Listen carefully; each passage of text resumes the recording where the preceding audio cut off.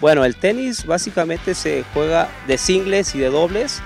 Eh, las callejones se usan para los dobles y la primera línea sería del singles, sería para, para el singles. Eh, básicamente el conteo sería, se juega dos de tres sets. Eh, para ganar un set tienes que ganar seis juegos. Eh, si empatan 6-6, se juega una super muerte súbita o una muerte súbita a 7 puntos. Y aquí, por ejemplo, básicamente los golpes más comunes de derecha, revés, tiene estilos de acercamiento, volea de derecha tanto como revés, remate y obviamente iniciamos con el saque. Eh, el que saca, el contrario es restante, es el, que recibe la bola y ahí inicia el punto.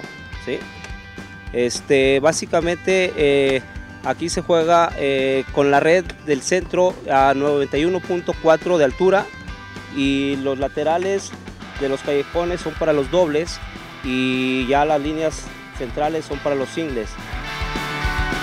Sí, siempre se inicia el saque, iniciamos el primer punto hacia el lado derecho, siempre cruzado. ¿sí?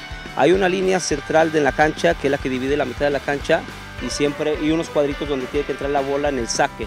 Después del, saque, de entre los cuadritos ya vale toda la cancha, ya sea de singles o en el dobles completamente con los callejones.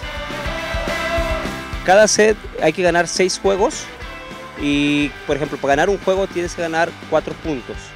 Pero si llegas a 40 iguales, se juegan unas ventajas. ¿sí? La ventaja consiste en que tienes que ganar dos puntos seguidos.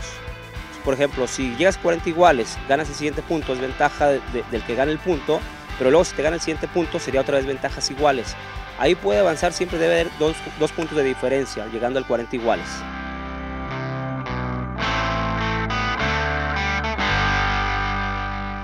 Depende de la edad, es la raqueta que debes usar. Si son niños chiquitos, hay numeraciones desde 19 hasta 27, que es la más común.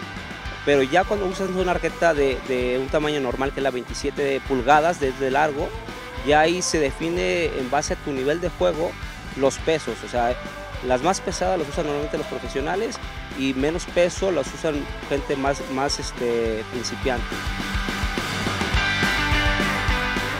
En la actualidad se está usando mucho para definir puntos el golpe de derecha. De hecho, hay un golpe que se llama pues, invertido, ¿no? cuando va la bola va al revés y como tu golpe de derecha es muy fuerte, te cambias de derecha y defines muchos golpes por derecha. Obviamente el principal es el saque. Si, tienes, si eres un buen sacador, básicamente no te ganan tu saque y siempre estás ganando tu juego del saque. Siempre sacas un juego tú y luego un juego al contrario.